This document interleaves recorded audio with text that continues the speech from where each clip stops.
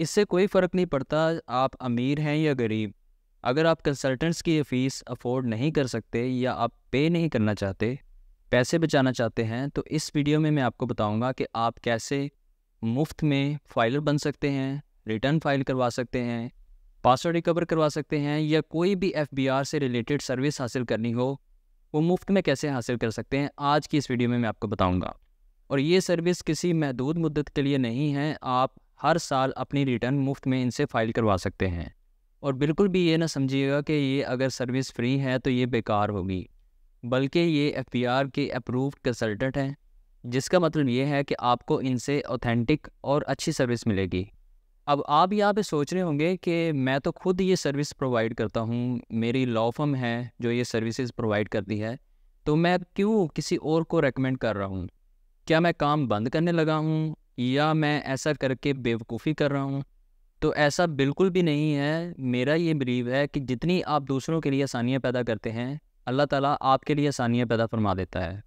अगर आपको मेरी इस बात पे यकीन ना आए तो आप मेरे चैनल पे जाके तमाम वीडियोस देख सकते हैं, जिसमें मैंने हर चीज़ खोल के बताई है, कुछ नहीं छुपाया। अगर फाइलर बनना हो, रिटर्न फ़ाइल करवानी हो, या पासवर्ड रिकवर कराना हो, इवन के कंपनी रजिस्ट्रेशन का प्रोसीजर मैंने वीडियो में तफसील से बयान करके आप लोगों के साथ शेयर किया है। मैं जितना ज़्यादा नॉलेज आप लोगों के साथ शेयर करता हूँ, मेरे रिस्क में इजाफा होता है, अल्हम्दुलिल्लाह। मैं ये समझता हूँ कि वो लोग बेवकूफ़ हैं जो दूसरों के साथ शेयर नहीं करते। वो ये समझते हैं कि हम ये चीज़ किसी दूसरे को बता देंगे तो हमारा काम बंद हो जाएगा, ऐसा बिल्कुल भी नहीं है। वो एक दफ़ा मेरे इस मशवरे पे अमल करके देखें, अपने नॉलेज को बांटें, दूसरों के लिए आसानियाँ पैदा करें तो उनके लिए भी डेफ़िनेटली बहुत ज़्यादा आसानियाँ पैदा होंगी। फ्री सर्विसेज़ लेने के लिए आपने करना ये है कि आपने एफबीआर के ऑफ़िस चले जाना है। एफबीआर ने रीजनल और डिस्ट्रिक्ट लेवल पे अपने ऑफ़िस बना रखे हैं। आपका करीबी एफबीआर ऑफ़िस कौन सा बनता है, उसको आप इजीली गूगल करके सर्च कर सकते हैं। ये आपको कुछ इस तरह का शो होगा। कहीं जगह पे ये आपको आर यानी कि रीजनल टैक्स ऑफ़िस के नाम से शो होगा तो कहीं पे आपको एफबीआर ऑफ़िस के नाम से लिखा नज़र आएगा। ये बात तो आपको ज़रूर मालूम होगी कि एफबीआर ने ये ऑफ़िस टैक्स कलेक्ट करने के लिए बनाए हैं, जिनका मकसद आपसे टैक्स हासिल करना है। लेकिन इस बात का आपको बिल्कुल भी नहीं पता होगा और ना ही ये बात कोई भी कंसल्टेंट किसी को बताता है। वो ये कि इन ऑफ़िस में एफबीआर ने आपकी खिदमत के लिए अपने नुमाइंदे बिठा रखे हैं, जिनको ये ज़िम्मेदारी दी है कि वो आपको सर्विसेज़ फ्राहम करें, जिसकी फ़ी वो आपसे नहीं बल्कि एफबीआर से तनख्वाह लेते हैं। आपको कैसे पता चलेगा कि एफबीआर में किस जगह पे ये नुमाइंदे बैठे होते हैं? इसके लिए जब आपने एफबीआर के ऑफ़िस में जाना है तो वहाँ पे हेल्प डेस्क बना होगा। उनके पास आपने चले जाना है। उनको आपने अपना काम बता देना है। मीन्स कि आपने फाइलर होना है, या रिटर्न फ़ाइल करवानी है, या पासवर्ड रिकवरी करवानी है, या कोई भी आपका अकाउंट से रिलेटेड इशू है, उसको हल करवाना है, जिसकी सर्विस उन्होंने आपको मुफ़्त में फ़राम कर देनी है। जो ज़रूरी डॉक्यूमेंट्स आपने साथ लेके जाने हैं, वो मैं यहाँ पे बता देता हूँ, ताकि आपको दोबारा चक्कर न लगाना पड़े। सबसे पहले आपका सी एन आई सी ओरिजिनल होना चाहिए आपके पास, और उसकी दो अदद कॉपीज़ भी करवा के लेके जानी है साथ, ताकि वहाँ पे आपको अगर कॉपी देनी पड़े तो वहाँ पे आसपास कोई भी फ़ोटो, स्टेट या कॉपी वाली मशीन ना मिले तो आपके पास ऑलरेडी मौजूद होने चाहिए। इसके अलावा आपका मोबाइल नंबर जो आपके नाम पे रजिस्टर्ड हो, आपके मोबाइल में वो एक्टिव होना चाहिए क्योंकि उस पर कोड आता है उस कोड के थ्रू आपकी रजिस्ट्रेशन होती है। इसके अलावा आपका ईमेल एड्रेस होना चाहिए। बैंक स्टेटमेंट होनी चाहिए आपके पास एक साल की, जुलाई से जून तक। लेट सपोज़ अगर आप अभी जाते हैं वहाँ पे तो जो बैंक स्टेटमेंट आपके पास होनी चाहिए वो जुलाई 2023 से लेके जून 2024 तक की होनी चाहिए।